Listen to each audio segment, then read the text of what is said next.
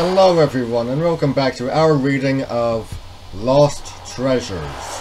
Today's chapter, The Riddle of Le Buzzard.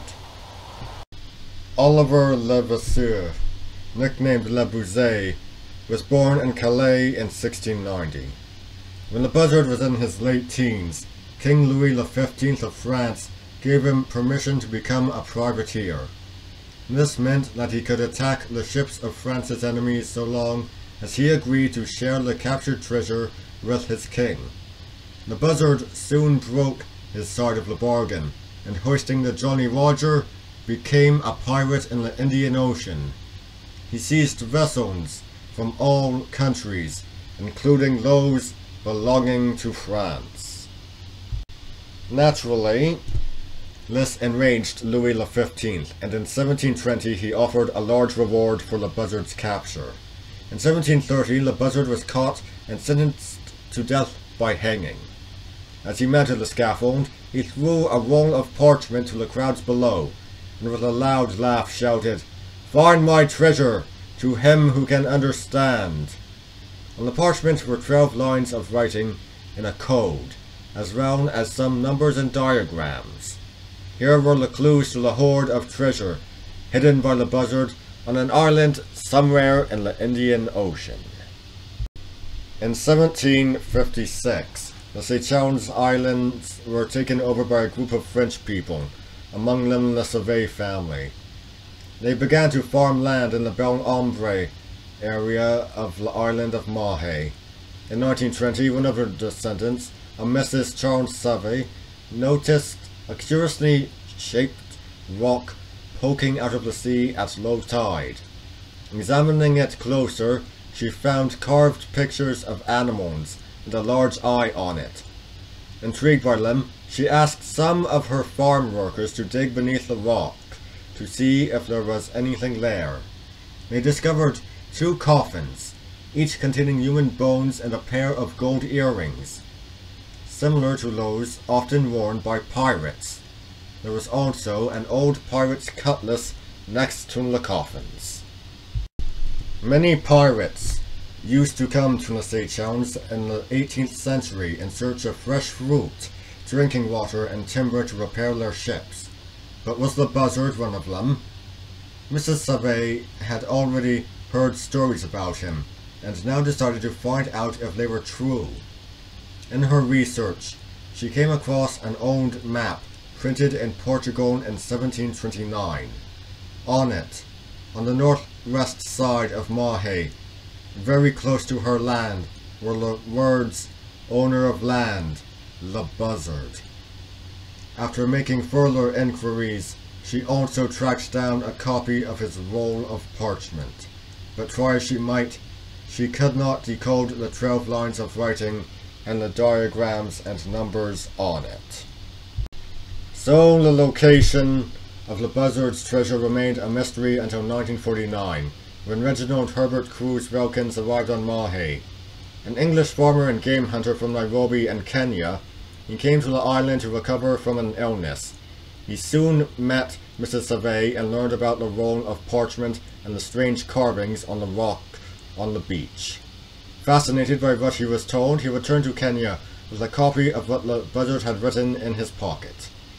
He spent the next five months trying to unravel the mysterious words and diagrams. Bit by bit, he translated the first of the twelve lines of writing, revealing the words, a woman, waterlogged, dig at her feet. He was able to work out a few other words, and as a result, deduced that the buzzard was referring to the twelve labors of Hercules in Greek mythology and the constellations in the sky. He thought that the diagrams referred to bearings on a compass and distances. Full of excitement, he rushed back to the Seychelles to begin a search for the buzzard's treasure that was to occupy him for the rest of his life. On Mahe, Cruise Wilkins found his first clue, a flat, smooth stone with markings that looked like a compass points. He was convinced that there was a connection between the stone and the buzzard's diagrams.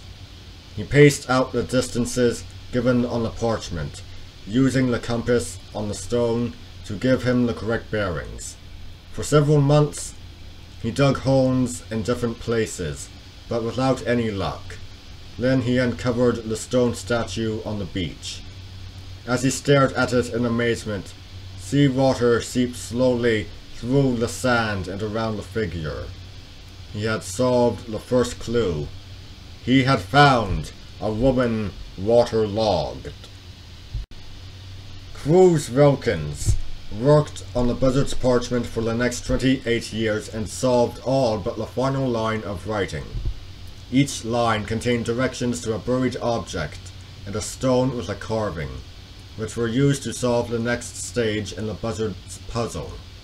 Eventually, after digging at many sites around the island, Cruise Wilkins ended up at a point very close to where he had found the buried statue of a woman. He was sure that the last line would provide him with the answer to where the treasure lay buried. Ill and penniless, after having spent all his savings in the search, Cruise Wilkins struggled on, desperately trying to solve the final puzzle. He had discovered an underground cave with a carving on one of its walls of a sarcophagus with a mummy lying in it.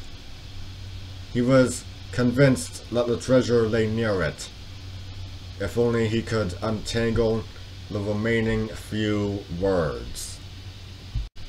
In 1977, he died before he was able to do it.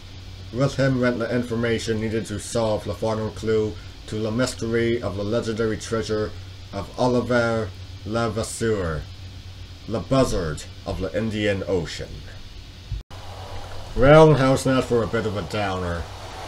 So close and just like all that, uh, the treasure remains unfound. Maybe it will be one day. Maybe maybe it actually has and uh, we just don't know. I mean, this book was published in, uh, what, 89, 1990? Maybe it already has, who knows. Anyway, join me next time as we head out... Well, that will just be telling. I'll see you then.